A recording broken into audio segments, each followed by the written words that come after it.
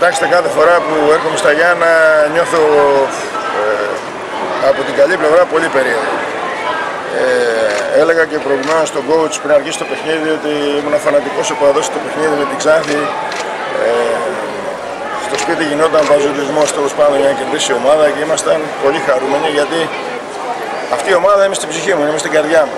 Και θα εξηγήσω και το λόγο. Γιατί ήταν η πρώτη ομάδα μετά την...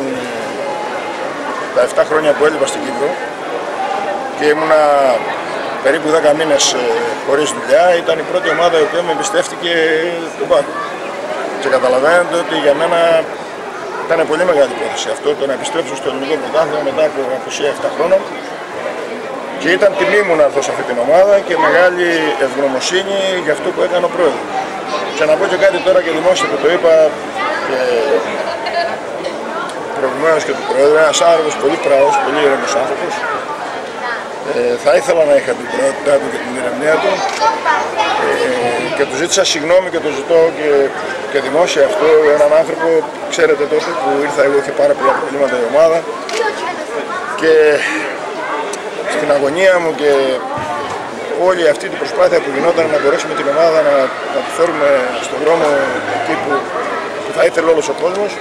Και ο πρόεδρος και εγώ και τα παιδιά. ε, ξέρετε στον δρόμο υπήρχαν και παρεξηγήσεις και εγώ ε, όχι βέβαια δημόσια αλλά ενδόμηχα μέσα τον παρεξήγησα και τον κατηγόρησα πολλές φορές μέσα στο μυαλό μου και θέλω να του ζητήσω συγγνώμη γι' αυτό. Δημόσια γι' αυτό.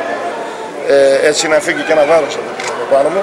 Να πω όμως ότι ε, δόξα τω Θεώ η ομάδα αυτή ε, έχει κάνει μόνο βήματα μπροστά και αξίζουν συγχαρητήρια σε όλους και μια γίνει και coach εδώ μπροστά να, τον, να του ευχηθώ τα καλύτερα, να του δώσω τα συγχαρητήρια και να του πω να έχει μια πολύ καλή χρονιά, μια ευλογημένη χρονιά έτσι όπως τη θέλει ο ίδιος, οι παίχτες του, η διοίκηση και πιο πολύ ο κόσμος είναι από τις λίγες ομάδες στην Ελλάδα που έχουν τον κόσμο δίπλα τους και αυτό είναι ευλογία.